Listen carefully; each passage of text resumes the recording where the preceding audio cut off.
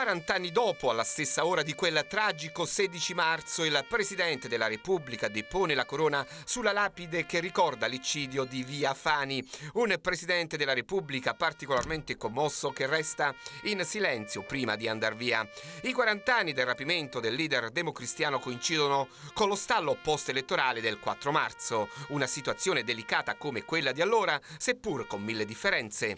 Allora Moro si impegnò per il raggiungimento di un'intesa tra le due maggiori forze popolari del paese, la DC e il PC, il famoso compromesso storico. Oggi al capo dello Stato il compito di trovare una soluzione che potrebbe ricordare quella di 40 anni fa, attraverso un'intesa tra forze politiche non omogenee. I tempi sono molto cambiati.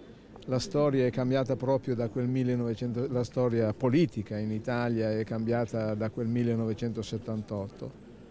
Ci sono sicuramente degli insegnamenti nel suo amplissimo magistero politico, ma adesso siamo ad una svolta della democrazia italiana e dobbiamo fare i conti con problemi assolutamente inediti. Per il capo della polizia Gabrielli gli anni di piombo non torneranno, ma non bisogna comunque abbassare la guardia.